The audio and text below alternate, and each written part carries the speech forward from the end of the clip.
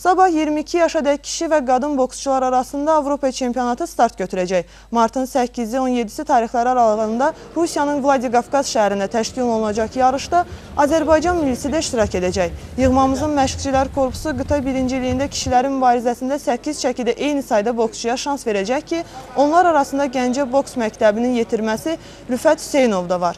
Ən aşağı çəkidə 49 kiloqramda döyüşəcək Dərəcək ustası bu il qatılacağı yarışlara hazırlığın ilk mərhələsini yığma komanda ilə birgə Göygöldə keçirib. Rüfət yeniyetmələrin olimpiya çempionu kişilər arasında Avropa çempionatının bürünc mükafatçısıdır.